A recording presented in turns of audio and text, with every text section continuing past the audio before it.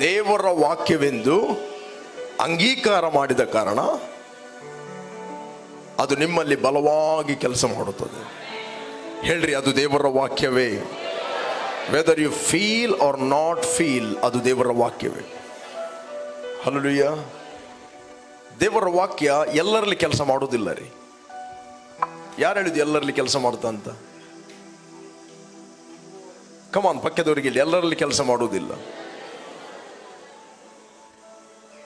ನಂಬುವರಾದ ನಿಮ್ಮಲ್ಲಿ ಕೆಲಸ ಮಾಡುತ್ತದೆ. ಹಲಲುಯ್ಯ ಹೇಗೆ ಕೆಲಸ ಮಾಡುತ್ತದೆ?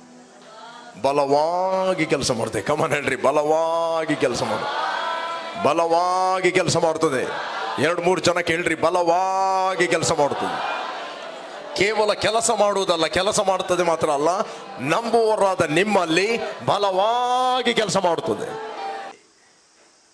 ಅದಕ್ಕೆ ಅಪೋಸ್ತಲ ಪೌಲ ಹೇಳುತ್ತಾನೆ, ನಾವು ಮಾತಾಡಿದ ವಾಕ್ಯಗಳು ಅದು ನಂಬಿಕೆಯ ವಿಷಯವಾದ ಮಾತುಗಳು.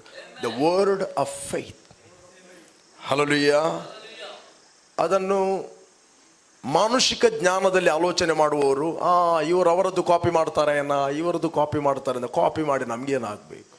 ವಾಕ್ಯ ಕೊಟ್ಟದ್ದು ನಮಗೆ ಜೀವಿಸಲಿಕ್ಕೆ ಕಾಪಿ ಮಾಡಲಿಕ್ಕೆ ಅಲ್ಲ. Hallelujah God's word is alive in our spirit come on ಹೇಳ್ರಿ ಅಲೈವ್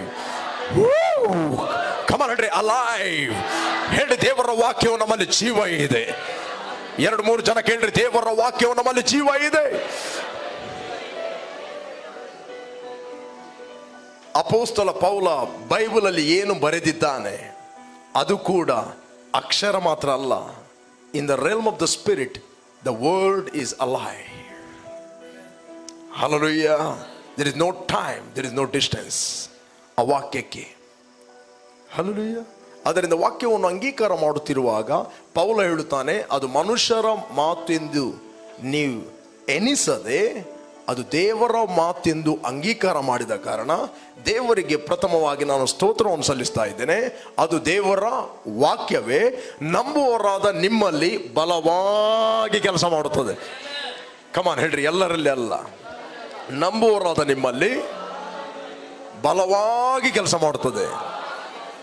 ಯಾರಾದರೂ ಈ ಬೆಟ್ಟಕ್ಕೆ ಇಲ್ಲಿಂದ ಕಿತ್ತುಕೊಂಡು ಹೋಗಿ, ಸಮುದ್ರಕ್ಕೆ ಬೀಳುವಂತ ನೀನು ಹೇಳಿದರೆ, ನೀನು ಹೇಳಿದ್ದು ಕಮಾನ್ ಹೇಳ್ರಿ, ನೀನು ಹೇಳಿದ್ದು ಕಮಾನ್ ಹೇಳ್ರಿ, ನೀನು ಹೇಳಿದ್ದು ನೀನು ಹೇಳಿದ್ದು ಆಗುವುದೆಂದು ಸ್ವಲ್ಪವೂ ಸಂಶಯ ಪಡೆದಿರಿ. ಕಮಾನ್ ಸ್ವಲ್ಪವೂ ಸಂಶಯ ಪಡೆದರೆ.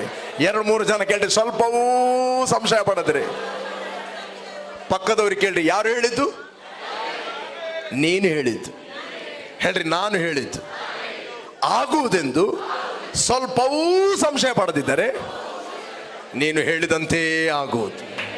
ಕಮನ್ ಹೇಳ್ರಿ. ನೀನು ಹೇಳಿದಂತೆ ಆಗು there is power in your word ನೀನು ಪಾಸಿಟಿವ್ ಮಾತಾಡುತ್ತೀಯ? ಅದು ಪಾಸಿಟಿವ್ ಆಗಿ ನೆರವೇರುತ್ತದೆ. ನೀನು ನೆಗೆಟಿವ್ ಮಾತಾಡುತ್ತೀಯ? ಅದರ ಪರಿಣಾಮ ನೀನು ಇವತ್ತು ಆಗೈತಿ ಪ್ರಿಯರೇ ದ ವರ್ಡ್ ಬರುತ್ತಿರುವಾಗ ಅದು ದೇವರ ವಾಕ್ಯವೆಂದು ಅಂಗೀಕಾರ ಮಾಡ್ರಿ. ಅದು ಅವರದ್ದು ಪ್ರೀಚ್ ಮಾಡ್ತಾನ? ಇವರದ್ದು ಪ್ರೀಚ್ ಮಾಡ್ತಾನ? ಅದು ಮುಖ್ಯ ಅಲ್ಲ. ದೇವರ ವಾಕ್ಯ ನಿನ್ನಲ್ಲಿ ಕೆಲಸ ಮಾಡಬೇಕು. ಪ್ರೀಚಿಂಗ್ ಅಂತ ಹೇಳಿದ್ರೆ ಅದು ಲೈಫ್ ನೀನು ಏನು ಜೀವಿಸ್ತಾ ಇದೆಯಾ ಅದನ್ನು ನೀನು ಪ್ರೀಚ್ ಮಾಡುವಂಥದ್ದು. ನೀನು ಜೀವಿಸದಿದ್ದರೆ ಹೇಗೆ ಪ್ರೀಚ್ ಮಾಡಲಿಕ್ಕೆ ಆಗ್ತದೆ? ನೀನು ಕಪಟಿ ಆಗ್ತಿ.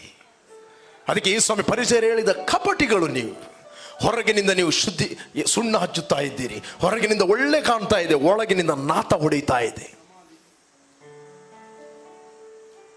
ಹಲಲುಯ್ಯ ಹೇಳಿ, ನಾವು ದೇವರಿಂದ ಹುಟ್ಟಿದವರು ಕಮಾನ್ ಎರಡು, ಮೂರು ಜನ ಕೇಳಿ, ನಾವು ದೇವರಿಂದ ಹುಟ್ಟಿದವರು ನಂಬುವವರೆಲ್ಲರೂ ಹೇಳಿ, ನಾನು ದೇವರಿಂದ ಹುಟ್ಟಿದವನು.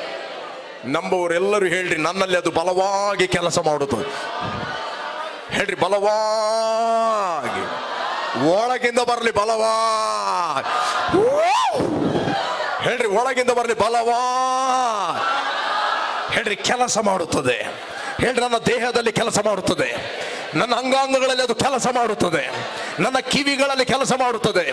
ನನ್ನ ಚರ್ಮದಲ್ಲಿ ಅದು ಕೆಲಸ ಮಾಡುತ್ತದೆ. ನನ್ನ ಬ್ಲಡ್ ಸೆಲ್ಗಳಲ್ಲಿ ಅದು ಕೆಲಸ ಮಾಡುತ್ತದೆ. ನನ್ನ ಕಿಡ್ನಿಯಲ್ಲಿ ಅದು ಕೆಲಸ ಮಾಡುತ್ತದೆ. ನನ್ನ ಲಿವರ್ ಅಲ್ಲಿ ಅದು ಕೆಲಸ ಮಾಡುತ್ತದೆ. ನನ್ನ ಡೈಜೆಷನ್ ಸಿಸ್ಟಮ್ ಅಲ್ಲಿ ಬೇಕಾದಷ್ಟು ಗ್ಯಾಸ್ ಪ್ರೊಡ್ಯೂಸ್ ಮಾಡುತ್ತದೆ. ಎಷ್ಟು ಗ್ಯಾಸ್ ಪ್ರೊಡ್ಯೂಸ್ ಆಗಿ ನನಗೇನು ಕುಕ್ಕಿಂಗ್ ಗ್ಯಾಸ್ ಹಾಕ್ಲಿಕ್ಕೆ ಉಂಟಾ?